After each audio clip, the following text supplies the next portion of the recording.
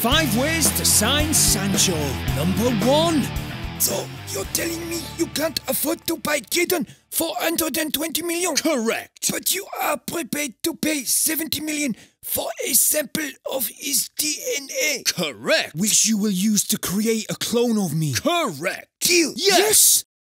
A pleasure doing business with you. Sancho is ours. At last. Ed Woodward, the king of transfer deals, strikes again.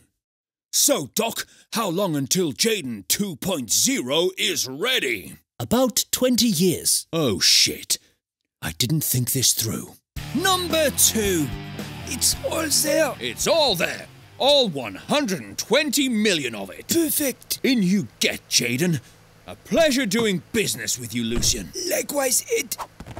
Wait a minute. Drive, drive, drive! This is Monopoly money. Monopoly money. Number three.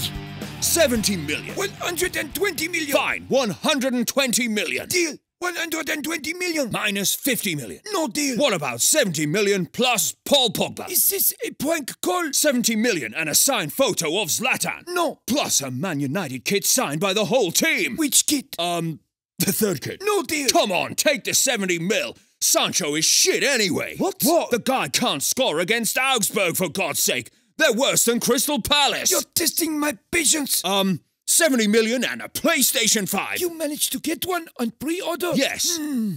Tempting. Do it, Gaffer. And we'll throw in a new Xbox too. No deal. God damn it, Ole, we had him. You leave me no choice. How about a straight swap for Bruno? What? Deal. Ed, how could you?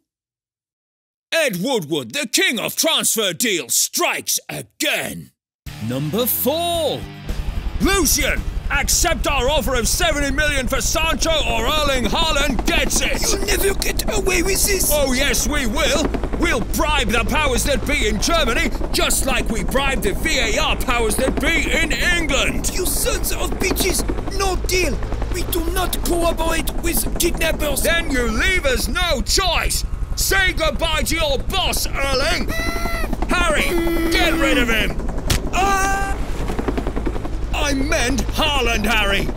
Get rid of Haaland. Oh, sorry, Ed. Well, at least we've got a new striker. Welcome to Manchester United, Erling.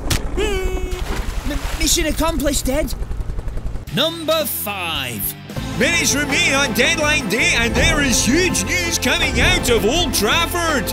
Good evening. As you know, Borussia Dortmund wanted 120 million for Jadon Sancho.